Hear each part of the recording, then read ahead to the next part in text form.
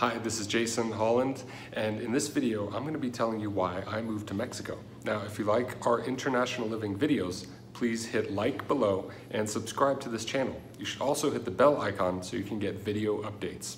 And be sure to comment if you have any questions for us. Thank you. Hi, Jason Holland here, the roving Latin America editor for International Living.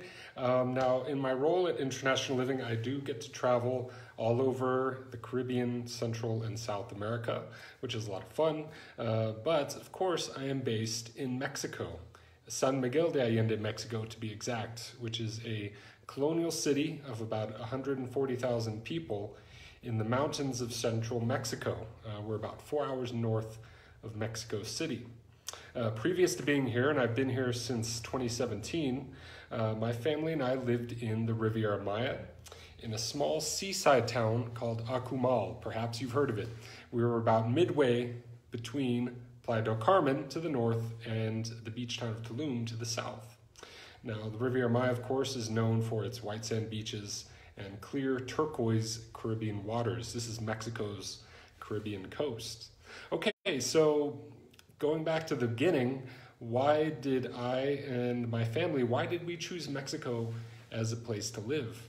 Well, I can speak for myself, and I think uh, many of my fellow expats here in Mexico have uh, a lot of the same reasons uh, for moving to and living in Mexico, and why we consider it to be such a special place.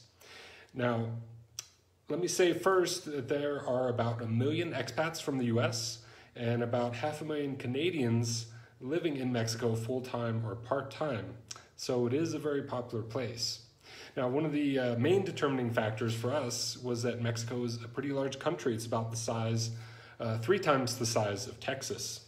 Um, and within that territory, you have a tremendous variety of landscapes, lifestyles, and climates. You know, for example, I mentioned the Riviera Maya. This is Mexico's Caribbean coast. You have white sand beaches, palm trees, clear blue Caribbean waters. It's that ultimate beach lifestyle. Now, a little bit hot and humid for some people, um, but it is that fun beach vacation kind of lifestyle, and a lot of people enjoy that. Now, here in San Miguel and in other towns and cities in the colonial highlands of Mexico, you have kind of a totally different uh, ballgame. We're at an elevation of about 6,200 feet in San Miguel, other highland cities are at about 5,000, 6,000 feet, somewhere around there.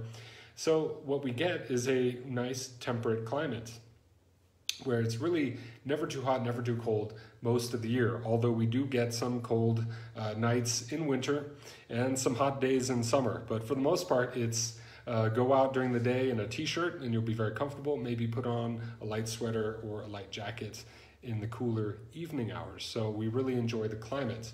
And then you go over to the Pacific coast, uh, places like Puerto Vallarta, Zihuatanejo, Puerto Escondido, Huatulco. You are going to have a warm and humid climate pretty much year round, although in the winter months it does get a bit cooler and the high temperatures are tempered somewhat by the sea breezes. Head over to Baja California. In the southern portion, you have a very dry, arid desert climate uh, where it can get quite warm.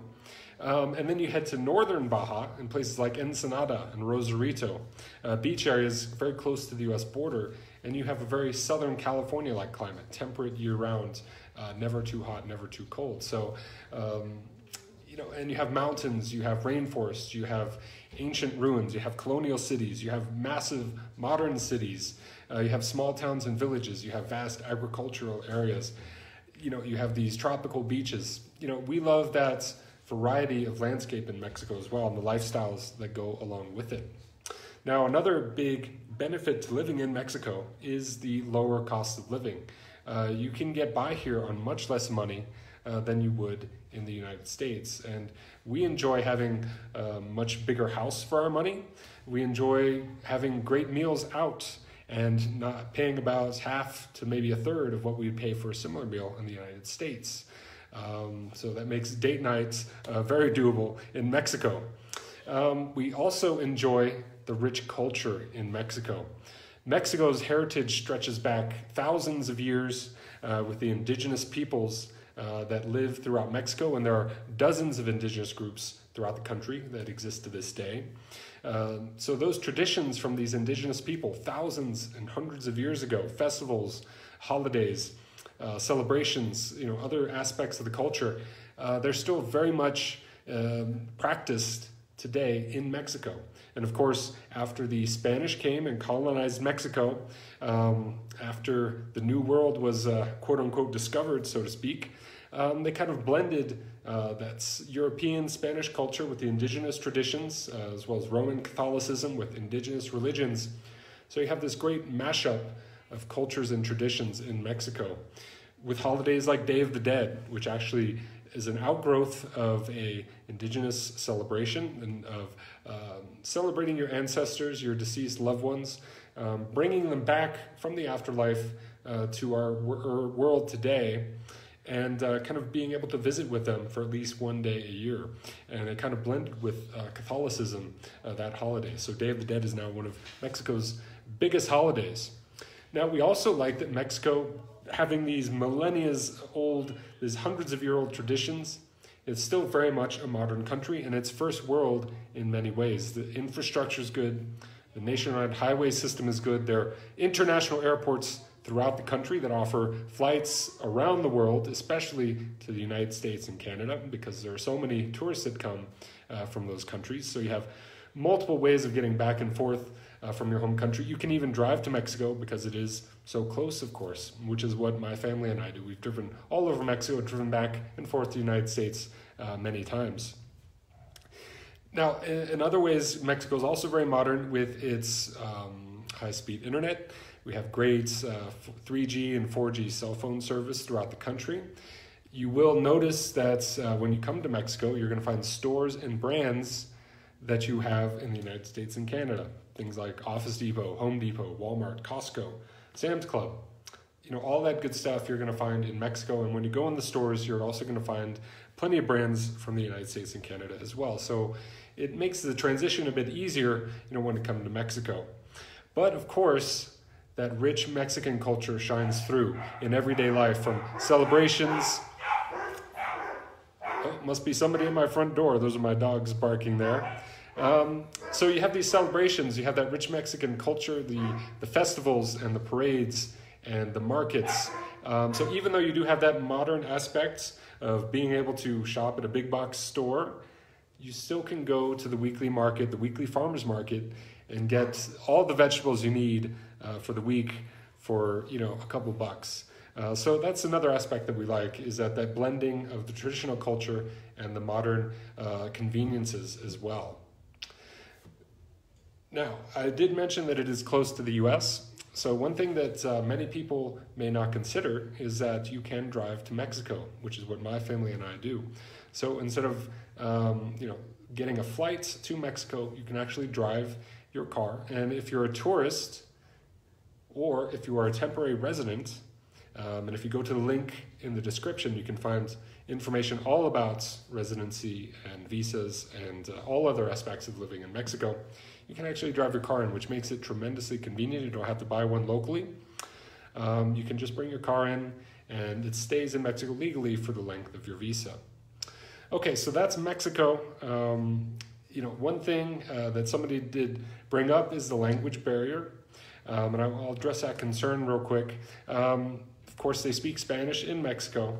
Uh, but here's the thing, especially in areas visited by tourists and areas where there are a lot of expats, and there are numerous areas like that in Mexico, you can get by pretty much in English because so many locals do speak English uh, because of tourism, because they work in that industry, or because they're in a town where there are so many expats that a lot of the local people have picked up at least some English. So you can communicate just fine without speaking much Spanish. Of course, you do want to learn some Spanish because it's the polite thing to do. Um, it's a great way to get to know your neighbors, to make new friends, to kind of go know what's going on around you in your community, to be able to read the newspaper, watch the news in Spanish, and get to know what's going on in your town, uh, the surrounding region, and even throughout the country. Um, so, learning a bit of Spanish is a good thing to do. Um, people really appreciate it. And you don't have to become fluent, um, you probably won't. Um, but if you learn some keywords and phrases, you are uh, well equipped to navigate life in Mexico. And another thing that, that people bring up with me a lot, um, and especially people, uh, acquaintances and friends and family members, uh, this is what they brought up when they found out I was moving to Mexico. They're worried about safety because you uh, watch the news in the US. Um, they, when they talk about Mexico, they're a lot of times going to be talking about violence, about drug cartels, and things like that. And uh, of course, those things are happening uh, in Mexico um, in different areas throughout the country. Um, but as I mentioned, there are about a million US expats in Mexico, half a million Canadians. Millions of tourists come every year uh, to Mexico. The vast majority of people experience no issues. Um, and most of the cartel violence and things like that is between the cartels or between the cartels and the government. And the expats, the foreigners in the country, are not involved. Um, so you don't really have to worry about that too much. I mean, of course, my family and I, we are uh, concerned about those things. We keep an eye on the news. We keep an eye on areas that are kind of no-go zones because of safety issues. Uh, but for the most part, we don't aren't concerned too much about violent crime, uh, being victims of violent crime. I always tell people that I wouldn't live in Mexico if I if I didn't feel safe. I wouldn't have my kids here um, in Mexico if I if I felt that they were in danger in any way. So um, that's Mexico, kind of in a nutshell. And uh, I was only able to touch on you know a few things here, uh, but I would encourage you to go to the link in the description um, so you can kind of learn all about Mexico, explore the internationalliving.com website uh, because we have hundreds of articles about Mexico, about the climates, about different areas to go, how to get a residence visa, how to get your stuff to Mexico, the cost of living. Uh, lots of examples, lots of stories of happy expats who live in Mexico, a lot of practical information too. So that's why I moved to Mexico. Thank you so much uh, for sharing this time with me, and uh, hope to see you in Mexico very soon, as soon as this whole pandemic craziness um, is over. Hopefully, uh, you'll be able to take a trip to Mexico. So, thank you very much, and uh, have a great day. This is Jason Holland, the IL Roving Latin America editor, signing off. Thank you very much.